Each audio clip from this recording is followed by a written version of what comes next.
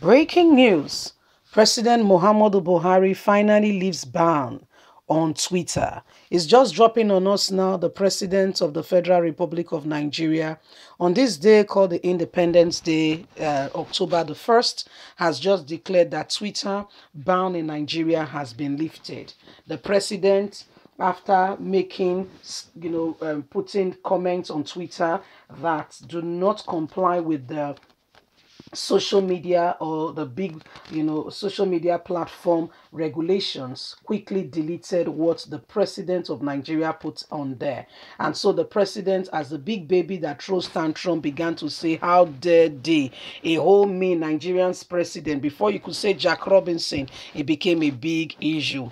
We saw the minister of um, we saw the Minister of Information, Alhaji Lai Mohammed, go to America and say, well, uh, we want to, but it did not happen. Anyway, President Muhammadu Buhari has just declared to Nigerians that Twitter ban has been lifted, but do Nigerians really still need it? I mean, you can keep it anyway. People have been using Twitter, even government officials up all over the rank. So lifting it or not lifting it does not really make anything really special.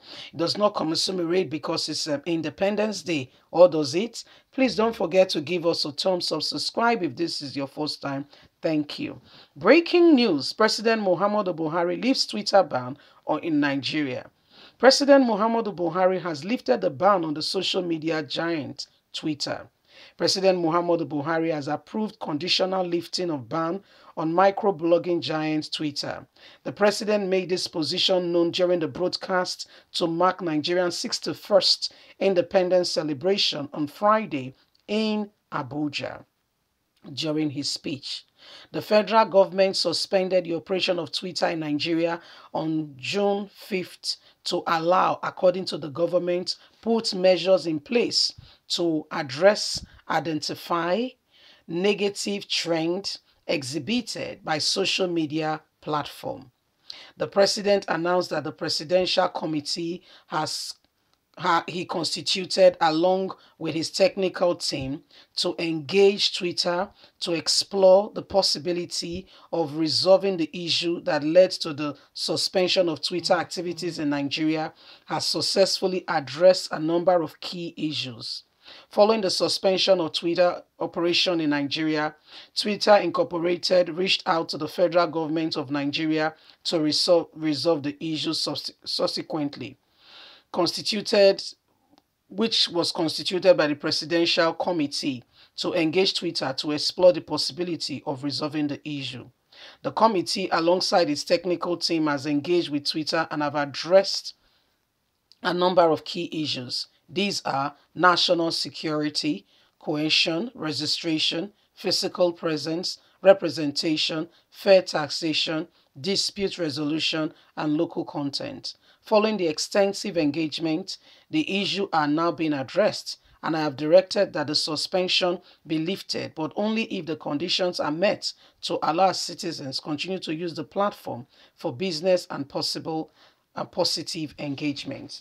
Buhari is just speaking, you know, he's just speaking his own words. I can assure you that his children has been using Twitter even since he said Twitter has been banned. Anyway, my people, story that touch has reached us. Buhari is very happy that he has done something worthwhile. On Independence Day, he don't share money given and at the suspension of Twitter being lifted. Oh. Now, you know, when they talked about the whole thing, it's very good when they use elaborate speech and um, be big English eh, to, to, to say their position. But they're not tell you what really happened. They're not tell you what the president do when make them ban when make when make them when you know leads to the issue when he's saying they ban Twitter. The president of your country put something that was very controversial. He said the people do not, I mean, talking about sectionists, do not know what they are doing.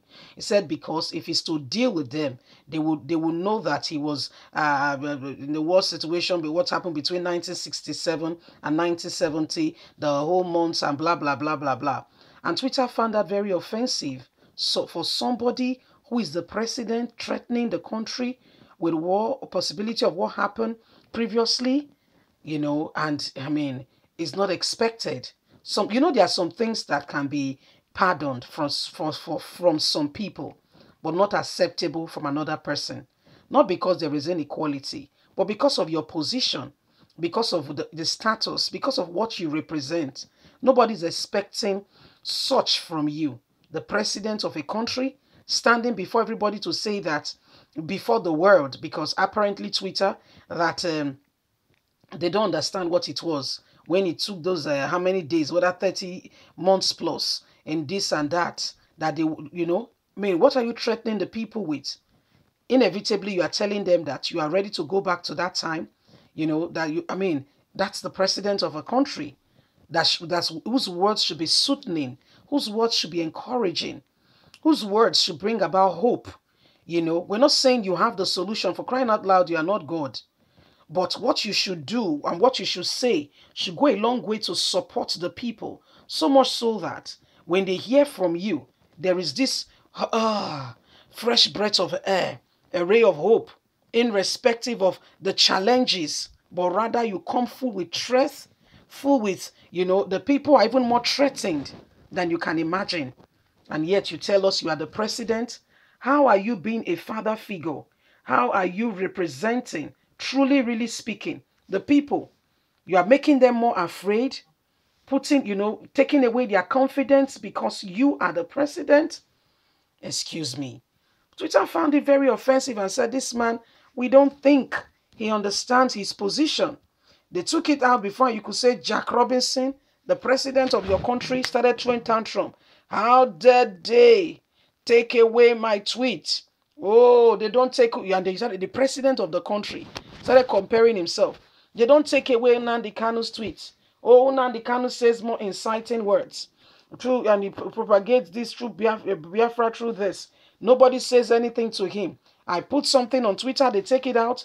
Have they forgotten I'm the president? Blah, blah, blah, blah, blah. Before you could say Jack Robinson, Twitter ban.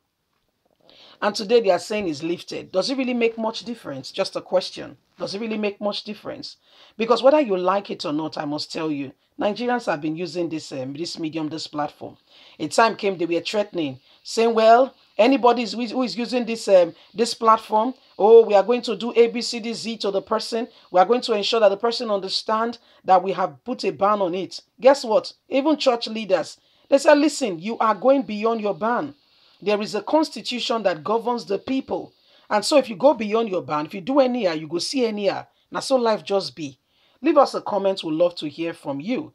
Please don't forget to give us a thumbs up, like us, share, subscribe. God bless you. Have a lovely day. Bye for now.